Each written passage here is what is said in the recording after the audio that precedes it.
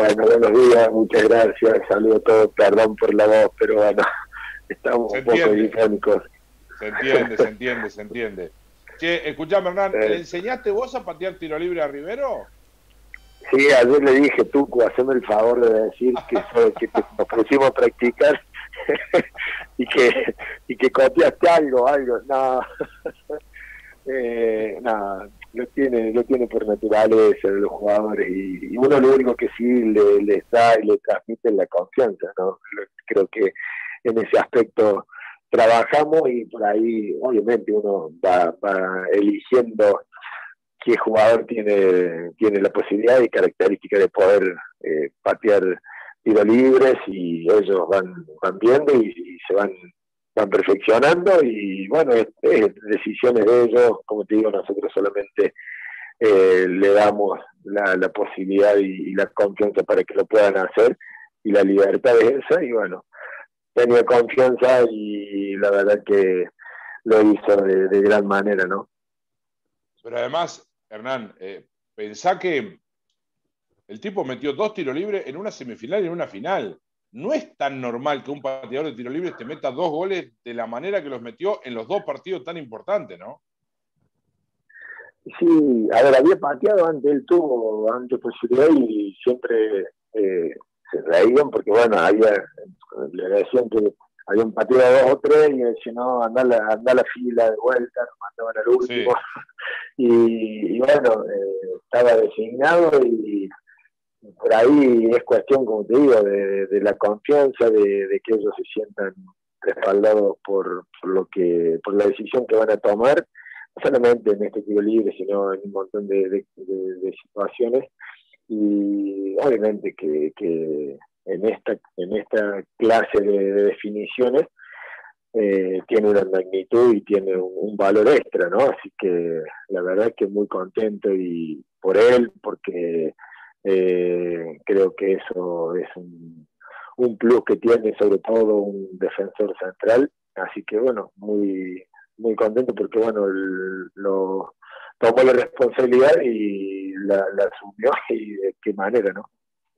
Tota, ¿Cómo andás? Felicitaciones, lo primero. Eh, y cuando charlaban en la previa del partido, ¿te imaginabas encaminarlo o que los chicos lo encaminen tan rápido el partido?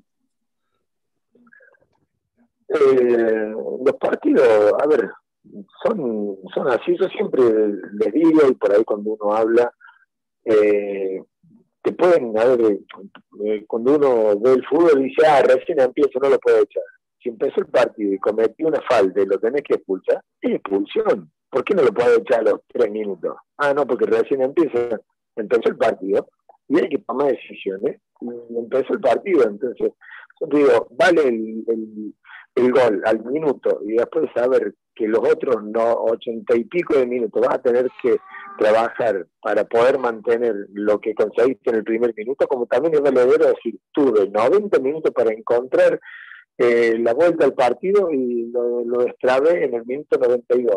Es valedero también. Habla de tener que manejar la inteligencia y los momentos durante todo el partido. Todo el partido significa eso, trabajarlo desde el principio a fin. Lo trabajamos desde el principio. Nosotros lo hablamos al principio, lo supimos eh, abrir rápido, lo tuvimos en el trámite, eh, creo que muchas cosas importante, inteligente, y bueno, después lo terminamos cerrando teniendo que defender una situación que habíamos conseguido eh, de, muy buena forma antes.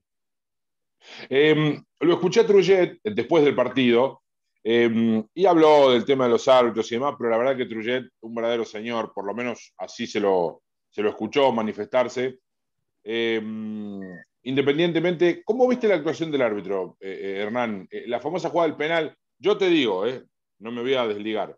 El primer golpe vista a mí me pareció que le tocó el pie, que era penal. Después se ve que no lo toca. Pero mm, eh, ustedes ahí, ¿cómo, ¿cómo lo percibiste? A mí, ahora hace un rato estaba viendo las imágenes, no se puede ver porque está filmado de lejos.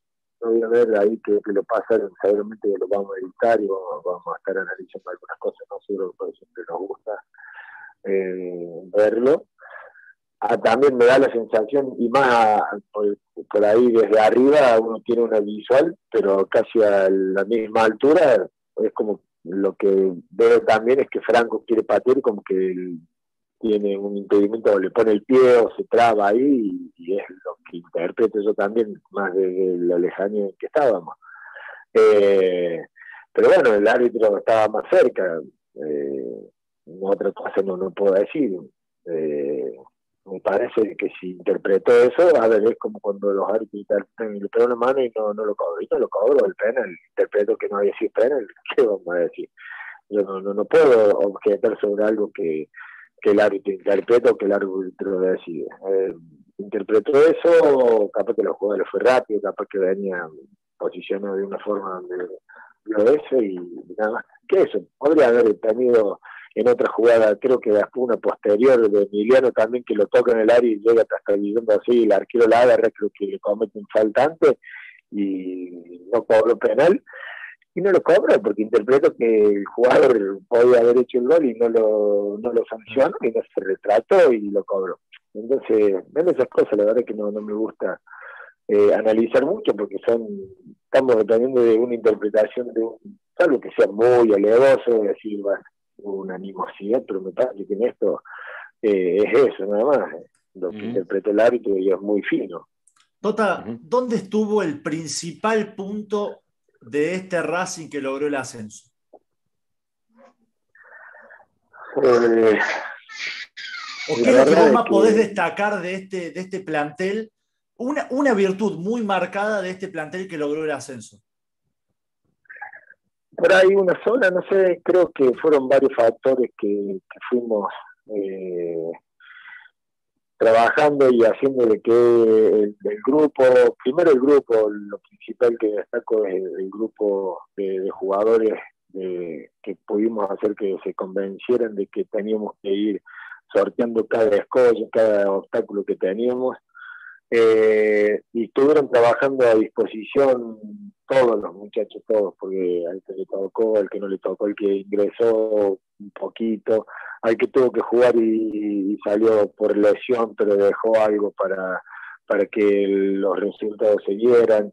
Entonces, tanto valoramos toda esa situación y pusimos por delante el objetivo y el propósito de la institución, del grupo, que quedó lo individual eh, en segundo plano, que hoy resalta todo lo individual gracias a todo lo, conseguido por, por, el, por el grupo, porque estamos hablando de, de, Facundo, estamos hablando de Emiliano, estamos hablando de un montón de individualidades que fue producto de lo que el grupo se brindó para que eso suceda, ¿no? Así que el objetivo siempre lo tuvimos claro desde un principio, cada vez que me tocó hablar con un jugador para eh, contarle del proyecto que era, que era y es hoy Racing. Eh, fuimos muy claros a, lo que teníamos que venir o a lo que tenían que venir. Y cuando uno le es claro al jugador, cuando uno le, dice con qué se tiene, con qué se va a encontrar, la predisposición es muy grande y creo que eso fue una virtud de, todos, ¿no? Que, hoy tenemos en ese presente. Justamente, eh, justamente, ya te dejo, Gastón, ya te dejo, ya te dejo. Eh, justamente estoy, estoy charlando con, con el Fede Rossi del otro lado, Tota, que, que, dice que te manda un saludo grande, que, que, realmente están muy contentos. Creo que ustedes han incorporado en este torneo alguna metodología de trabajo, eh, justamente que no es común, no es común, porque coaching deportivo en esta categoría eh, no es frecuente, eh, eh, viajar dos días antes como le tocó a ustedes no es frecuente, tener algunas condiciones de trabajo propio del equipo en el que están y, no defraudar en, en, esa circunstancia, ¿no? porque vos sabés que, corrías con el caballo del comisario. Entonces, también para vos es un desafío, porque vos decís, che, ascendió Racing, y bueno, es lo que correspondía. Ah, sí, mirá que como si fuera tan fácil eso, ¿no, Tota? Sí, a ver, eh, no sé si caballo del comisario, sí, con una gran responsabilidad que era llevar a Racing mínimamente a la instancia donde estábamos ayer.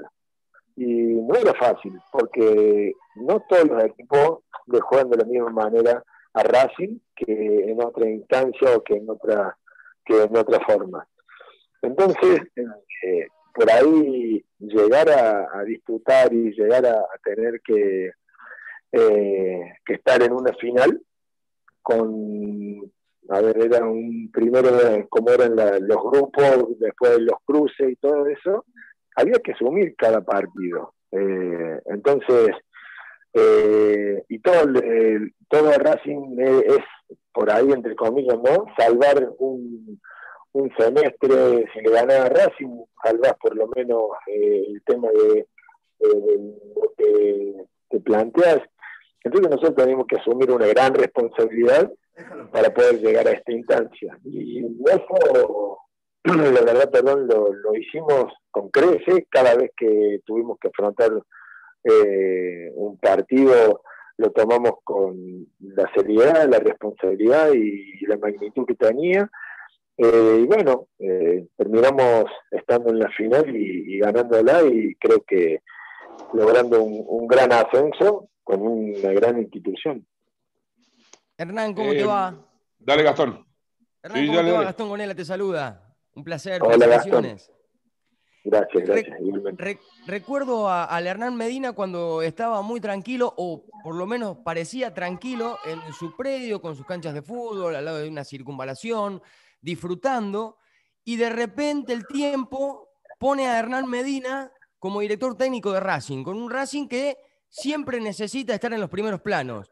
Arrancó en Liga Cordobesa y llegó el gran desafío de, de poder ascender como se logró al Federal A ¿Cómo trabajó la, la cabeza Hernán Medina en todo este tiempo de las cosas que se fueron dando y cómo se sigue trabajando hasta el día de hoy cuando se consigue lo que más querían todos para estar tranquilo y seguir pensando en avanzar en una carrera que recién comienza y, viene siendo muy positiva, Tota. Eh, se trabaja eh, cuando uno tiene eh, aspiraciones, objetivos claros, a ver, yo siempre quise y quiero ser obviamente director técnico y aspiro siempre más, y te encontrás con un desafío por delante como fue en el principio dirigir a Racing en la Liga Cordobesa, la verdad que me interesó, el proyecto lo fuimos moldeando a medida que, que pasaron los días, empezamos a, tener una idea de trabajo que la fuimos plasmando y bueno, en eso sin duda que, bueno, hay eh, un trabajo en conjunto de tanto de la gente que estaba en el club, que nosotros veníamos eh, intentando cambiar la idiosincrasia, porque bueno, Racing tiene una historia muy rica, muy grande a lo largo de todo este, toda esta etapa y bueno, era por ahí volver a tener esa memoria de, de, buen pie, de buen juego y bueno, fuimos haciéndolo despacito y bueno, hoy estamos en este presente que la verdad que me pone muy contento, me pone muy muy bien por el hecho de que bueno, estábamos eh, acertados con, con la propuesta de trabajo y obviamente que hoy avalada por toda la institución, ¿no? ¿Y ahora, Tota? y ahora, se ahora? Porque descansar, Nicolás la Tota, viejo. Eh, ahora, en breves, eh, hay nombres, ya no hay nombres, es muy pronto, ¿cuándo se descansa? ¿Cómo se hace ahora? Porque ya, ya arranca. No, primero, a ver, sí, sí, primero hablen con Manuel a ver si seguimos. Ah. Eh, ¿Cómo la negociación tan fácil si se sientan hoy, digamos? O, cómo es ahora? Con una, dos ascensos, dos torneos jugados, eh, cambia. Claro, Cambia la cosa ahí. no, no, a ver. Eh, ya le escribo y le pregunto a ver qué dice. a ver qué dice, madre. Estar descansando, el pobre. También estaba había terminado un día largo, seguramente que, que lo necesitaba el poder estar tranquilo, contento y bueno, la verdad que haberle podido regalar esta alegría eh, es muy importante para todos, ¿no? sobre todo para la institución, para el que, es el que está en el, en el día a día trabajando desde la otra parte que es la, más difícil, la más ardua y bueno, eh, también bien merecido. Pero bueno, a ver, eh, descansaremos, no tenemos mucho tiempo porque yo un poco entre mirábamos de reojo las situaciones que podía pasar, eh, eh, obviamente que siempre supimos que, que teníamos que, que tomar riesgo, lo tomamos ayer y, en lo lindo del fútbol este que bueno, te posiciona hoy en, en, una situación de que estás pensando en otra categoría. Bueno, en eso sabemos que vamos a arrancar prácticamente 45 días en desventaja con el resto de los equipos, pero con, con respecto al mercado, ¿no? Porque bueno, los otros los otros equipos ya se han reforzado, están muy muy avanzados en negociación y nosotros recién vamos a entrar en el mercado este ahora y, bueno, eh, tratar de, ser claros y, de tener la tranquilidad de ver qué jugadores vamos a a necesitar con cuáles vamos a contar, porque bueno, ahora seguramente se van a abrir un montón de, posibilidades, un abanico para cada jugador, que bueno, tendremos que evaluar la idea seguramente, no lo hemos hablado con, con el dirigente, de, de, ver qué, qué, jugadores podremos retener, qué jugadores tendrán posibilidades de, de, emigrar o, qué, cuál es la idea también de ellos. Así que bueno, eh, creo que ya no vamos a tener mucho tiempo para festejar, lo haremos eh, por ahí a cuenta gotas, pero también pensando en lo que, lo que se viene y, tratar de ganarle al tiempo. Ya tenemos una base y un, estilo marcado, entonces bueno, es mucho más fácil arrancar desde ahí. Así que en ese sentido creo que, que equiparamos un poco a, la desventaja esa que te decía anteriormente. ¿Cuánto cambia eh, de este torneo regional, mucho más que el torneo por eliminación directa que los grupos, estos momentos decisivos, a un federal con plaza fija. ¿Cuánto cambia también, además de, desde esa parte de la plaza fija, a lo futbolístico? Eh, ¿O no es tanta la diferencia? Eh, no, no, en lo particular me parece que hay que hay que cambiar, modificar algunas eh, lecturas con respecto a, al, formato en el que se juega, pero mucho, no, a ver, creo que es más fácil, yo siempre les digo a, los jugadores y a los muchachos, digo, a medida que uno va jugando, va subiendo de categoría, es más fácil jugar, obviamente que es más eh, complicado porque cada error se termina pagando caro, entonces te tenés que equivocar menos, tenés que aprovechar más lo que generás, lo que haces, tenés que saber tener una lectura de juego mucho más rápido, pero es más fácil porque tenés más espacio, tenés más, eh, tenés otra dinámica, entonces es adaptarse nada más. Eh, yo soy un convención que pasa por, por la actitud, por lo mental, por lo actitudinal, así que seguramente que, que iremos eh, adaptándonos a eso pero con una con una base, como te digo, de, de una idea que creo que eso es eh, un, un buen cimiento para lo que se viene. Así que bueno, esperemos eh, seguir eh, haciendo que la, la idea y el estilo continúen y bueno, buscar, como te decía, la, la gente que, que, que, tengamos que evaluar qué, qué jugadores se necesitan, cuáles no y en eso seguir creciendo. Con... Eh, ¿Cuándo vuelven a trabajar, Tota? En fecha, digamos, en día, muy prontito, ¿no? Y mira, no hemos hablado, seguramente licenciaremos, eh, no creo que más de esta semana. si me preguntan a mí, yo creo que ya mañana pasó, los cito a los muchachos pues, eh, para ir teniéndolo, pero eh, hablaré con, con el dirigente con el día, pero tendrán que tener dos o tres días de descanso por lo menos para, para poder estar tranquilo. Y después bueno se empezará a, a, ver en todo sentido sea físico empezar negociaciones conversaciones y, y, bueno pensar con la adaptación que no creo que hagamos no tendremos tiempo para hacer ni pretemporada ni mucho menos. Tendremos que arrancar con una adaptación y y bueno, trabajar y a medida que, comencemos el trabajo, eh, ir dándole de nuevo la, la idea. Em, te manda te manda un saludo, dice Federico, que al final eh, vas a tener que pagar el asado, no te va a quedar otra. sí, sí, yo tengo que pagar el asado, no va a quedar otro porque si no me va a matar. va, a decir que no lo querés pagar y qué sé yo, así que eh, pagáselo, porque si no, ¿para cómo está chiquito? No, sí, sí, sí.